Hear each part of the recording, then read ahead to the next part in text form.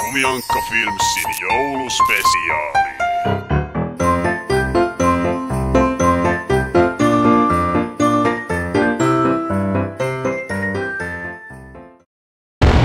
Osa yksi.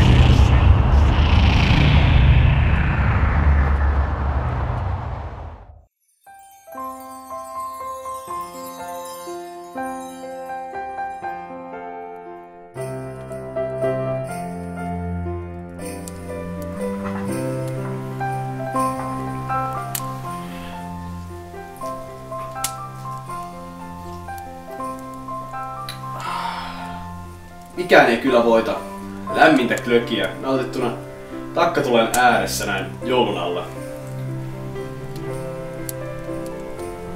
Vai mitä mieltä olet, Jonne Matti?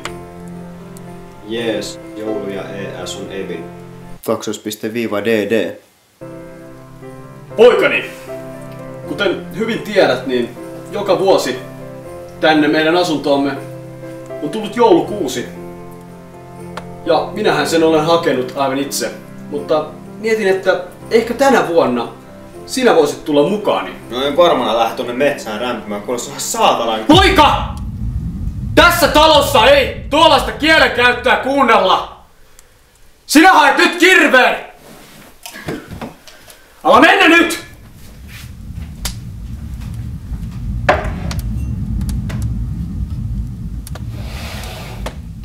Koskaan ei voi olla liian varovainen.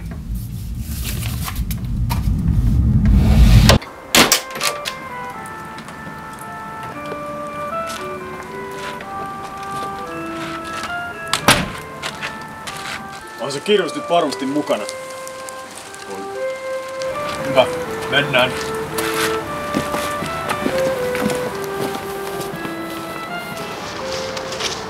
Tulee kun hiippari istuu meidän pihalla. Jumalauta. Takapihalle ei tulla. Tappa poika minun repusta se pistooli. Pistoolia. Sama. Ehkä saa jo ampua sitä. Jos tarve vaatii, se vaatii nyt. Minun pihalle ei tulla. Ja sitten suojaat mun selustan noilla lapuilla. Nyt on aamukautta. Ne suojaa meitä kuule. Tämä kylän pahimmalta hirviöltä. Metsästyslupa tarkastajalta. Jonne, oletko valmis? Joo. Mä olen laskenut kolmeen. Suojaat selustani papereilla. Yksi, kaksi, kolme.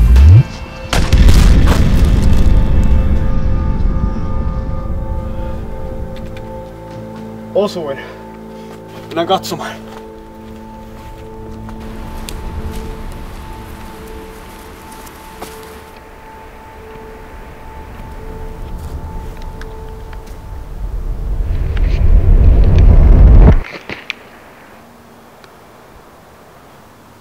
Taidettiin ampua tonttu